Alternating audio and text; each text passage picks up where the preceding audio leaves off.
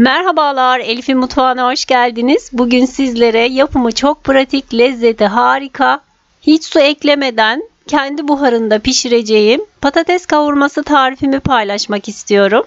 Yeni tariflerimden haberdar olabilmek için kanalıma abone olup zile basarak bildirimleri açmayı unutmayınız. 1 kilo patatesi soydum kararmasınlar diye suyun içerisinde bekletiyorum. 2 adet orta boy soğanı bu şekilde ince ince doğruyorum. Yayvanca bir tencerenin içerisine çeyrek çay bardağı sıvı yağ, 1 yemek kaşığı tereyağı veya margarin de olabilir. Ekliyorum ve yağım eridikten sonra üzerine soğanları ekliyorum. Soğanlarımı güzelce kavuruyorum. Hafif pembeleşene dek kavuracağım. Soğanlarım kavrulurken bu sırada patatesleri doğruyorum. Bakın ince ince rastgele kesiyorum bu şekilde. Fazla kalın kesmeyin çünkü içine su eklemeyeceğimiz için zor pişecektir. Bu şekilde doğruyorum. Bütün patateslerimi doğradım.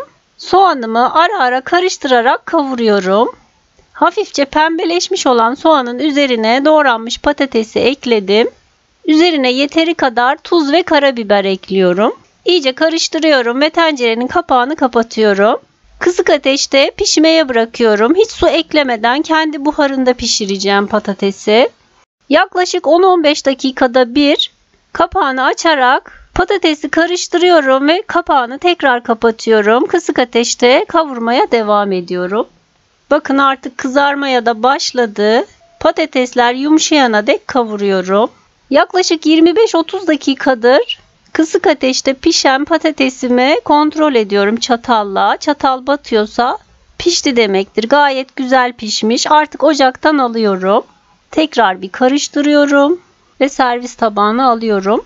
Bu patates kavurması et ve tavuk yemeklerinin yanına, köftelerin yanına çok yakışan bir tariftir.